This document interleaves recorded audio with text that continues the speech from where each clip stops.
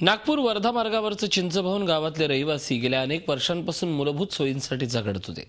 गाव नागपूर महापालिकेच्या अखत्यारीत आलं पण समस्यांचं ग्रहण काही सुटेना अखेर या गावकऱ्यांची मदत मिळाली ती त्यांना झी हेल्पलाईनची. अदमासे पन्नास हजार लोकवस्तीचं हे चिंचभवन. आता नागपूर महापालिकेत या गावाचा समावेश करण्यात आलाय. मात्र या गावाच्या नागरिकांच्या समस्या अजूनही सुटलेल्या नाहीत. गावात जाण्यासाठी रस्ता आहे मात्र त्यावर कायम सांडपाणी तुंबलेलं असतं.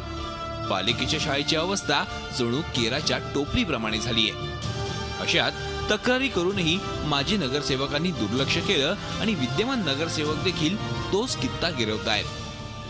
या भागातून वाहणाऱ्या नाल्याला संरक्षण भिंत बांधून देण्याची मागणी इथले नागरिक गेल्या अनेक वर्षांपासून करतायत. कारण या नाल्याच्या बाजूला छोटस मैदान आहे. इथं लहान मुलं खेळण्यासाठी गर्दी करतात. अशात एखादी दुर्घटना होण्याची शक्यता आहे. पावसाळ्यात नाल्याला पूर येतो आणि पुराचं पाणी थेट वस्तीत शिरतं. मात्र याकडे ना महापालिका लक्ष देते ना नगरसेवक. जी आमची पी यू लाइट आहे ती नाल्याच्या बाजूला लागलेली आहे त्याला पोहरा नदी म्हणतात. ते जोपर्यंत संरक्षण भिंत बनणार नाही तोपर्यंत ते पूर्ण जे पाणी आहे तो आतमध्ये येत जाईल. आणि त्यामुळे काही सध्या तरी काही अशी परिस्थिती नाही की आपण काही करू शकतो याच्यावर. ही नदी जेव्हा पाण्याने भरते तेव्हा सगळं पाणी या कॉलनीमध्ये येते. आणि त्याचसोबत साप पिंचू आणि वेगळ्या वेगळ्या प्रकारचे विषारी प्राणी इकडे येतात इकडे कॉलनीमध्ये घुसतात आणि पूर्ण पाणी कॉलनीपर्यंत येते. त्यासोबत कचरा आणि घाण सगळं येते. गावासाठी बांधलेल्या दहनघाटाची अवस्था देखील अत्यंत भीषण झालीय. घाणीच्या साम्राज्यातून मार्ग काढतच घाटावर जावं लागतं. इथं लाईटचीही सोय नाही.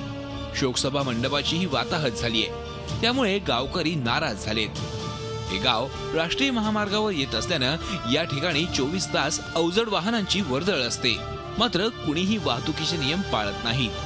शिवाय वर्दळीचा भाग असून देखील इथं पोलीस शिपाई नसतात. हा ब्रिज एकदम सिंगल रोड आहे आणि एकदम अरुंद रस्ता असल्याकारणाने नेहमी जीवाचा प्रश्न येतो तिथून. आमचे मुलं जेव्हा शाळेत किंवा ट्युशनला वगैरे जातात तर सगळे आईवडिलांचा जीव धोक्यात असतो.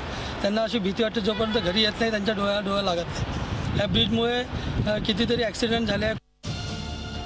याबाबत अनेकदा तक्रारी करून सुद्धा केवळ आश्वासनांच्या पलीकडे गावकऱ्यांना काहीच मिळालं नाही. म्हणून या गावकऱ्यांनी झी हेल्पलाईनकडे धाव घेतली.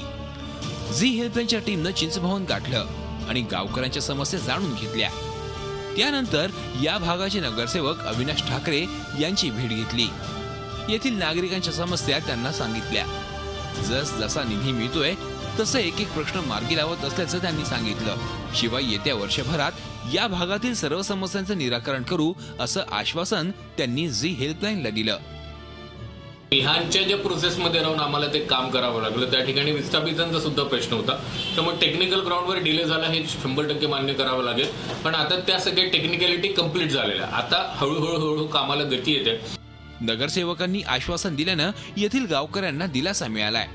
मात्र जोपर्यंत नगरसेवक दिलेलं आश्वासन पूर्ण करणार नाही तोपर्यंत झी हेल्पलाईन याचा पाठपुरावा करतच राहील.